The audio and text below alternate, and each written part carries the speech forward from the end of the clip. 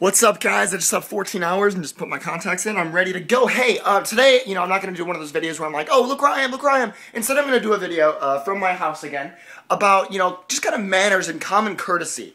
Um, I notice this a lot at VidCon and, and just in general. Um, I knew, you know, some of these things I would run into. Um, oh, shoot.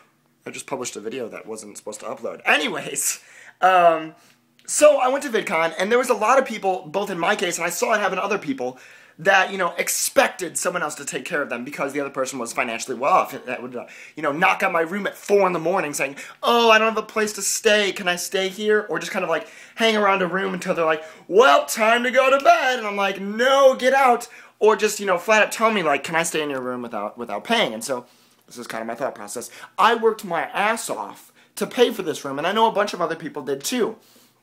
Um, and for you to expect, because this other person was more financially well off because they worked hard, um, you know, to take care of you is just ridiculous. You can't expect that out of another person. And I, I thought that was really, really rude of the people that did that. There were some people that asked me that, are, you know, like a day or two at a time or a couple hours. They're like, you know, Jared, like, I don't have a place to stay tonight. Can I, can I room here? And I was like, yeah, that's fine if you ask me. But when you're asking me at like four in the morning or you're just kind of expecting it. That is so wrong. I, a lot of people look to me like I'm so financially well off and I'm like, no, I go to college. Do you understand how expensive that is? I am so broke and I worked my ass off this summer. The only reason I really got a job this summer was to pay for VidCon. So, you know, I worked my ass off to go to VidCon, and, and these people just expect things out of you. Um, along those lines, like, some people charge things to my account without telling me, and I'm like, if you would have just told me ahead of time, I would have let you. For instance, like valet parking or room service or something. But like you just did it and expected me to pay for it or pay me back, which never happened, which is fine because some of these kids got me back in other ways, sexually, of course. Uh, no, but um, I don't know. You just can't expect those things out of some someone. That's why I don't know. Next year, if I if I do go to VidCon next year, I'll probably be staying by myself. Um, although Ryan WTF, WTF Films for the Win was my roommate for a while, you know, he paid. He was fantastic. He was a great roommate. Um, so that was that was kind of that. And just like I don't know, common courtesies. If you see someone's trying to go to bed, um, you know, just like let them go to bed. Don't don't hit them. Don't bug them. Don't uh, don't whatever. Um, another thing was you know alcohol and you know there were there were some people that were drinking at VidCon and you know I'm not stupid. I understand understand underage drinking happens. But if you're going to be underage and drinking, don't be a fucking moron. I mean, these people are just like stumbling around and just like screaming at people and just like just being rude. And I'm like, yo, people are trying to sleep. Like, for instance, me, I'm trying to sleep. Or, or other people I saw just trying to sleep and they're just getting bumped into or or whatever. And I just thought that was that was kind of rude.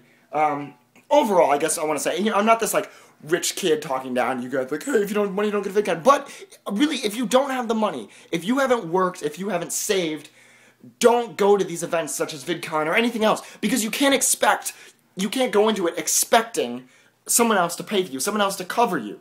That's not fair to them at all. I mean, I worked hard enough to pay for myself, and then I've got these other expenses on top of that. I'm just gonna throw a ballpark number. It cost me over. It cost me about a thousand dollars to go to VidCon. Okay, there's there's a price. Um, and yet I had these charges here and there, just everywhere, here and there, every. No, I had these charges that you know I didn't even make, or or people just trying to use me in other ways. And I'm like, guys, don't do that. But the people that did ask me ahead of time, they're like, hey, can we run with you? Like a couple days ahead of time. I don't know if I was like, yeah, of course. And I'm not going to make them, if they offer to pay, I'm not going to make them pay all the time. Like, who do I want to use an example? Let's just use uh, Damon DeFizzy, just because he's the only one I can really remember. He's like, Jared, I've got a place to stay, but like, there's a lot of people in that room. Can I stay with you? I'll pay for you and everything. And I'm like, dude, you don't have to pay. Just come sleep in my room. And just like, stuff like that. I'm glad he offered.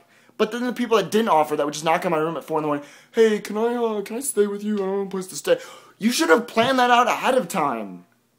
Kills me. Anyways, that's just, you know, my little spiel about manners, I guess.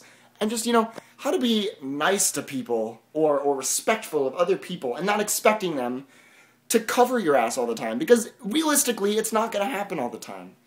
Um, that being said, I still love these people, whether they did it to me or other people personally. It's just, I don't know, it just kind of gets on my nerves. Um, anyways, new video on YouTube.com slash ghero46. Check it out in the down bar. I love you guys so much.